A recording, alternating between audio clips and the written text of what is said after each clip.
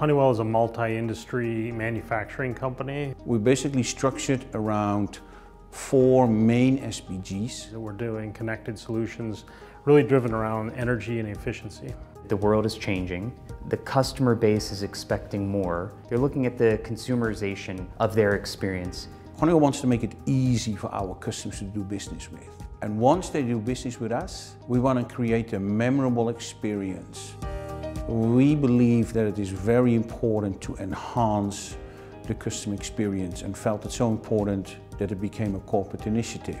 Honeywell has over 200 uh, physical locations for our contact centers and we have almost 4,000 agents uh, operating across the globe. The NICE inContact solution has transformed our ability to support our diverse uh, contact center environment. And they, have done this by providing a cloud architecture that allows us to deploy virtual call centers across multiple physical sites without any hardware. A cloud-based system gives you that ability to quickly see that something is going wrong, and it then gives you the ability to go and address it.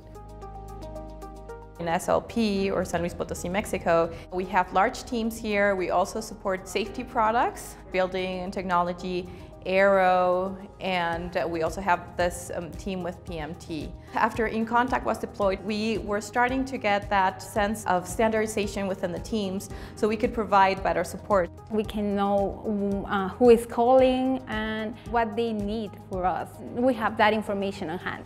And just one call, the customer will receive the final answer that he is looking for. We're able to provide also a lot of coaching through this tool, real-time monitoring. The dashboards that provide us, uh, the reporting helps me do our job easier.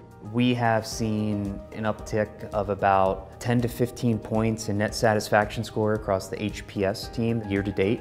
We are going to increase our net promoter score and also have a better first contact resolution for our customers.